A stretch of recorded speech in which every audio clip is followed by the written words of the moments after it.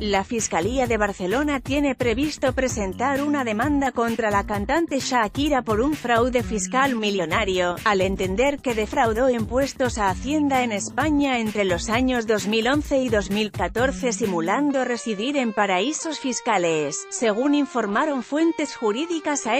el Ministerio Público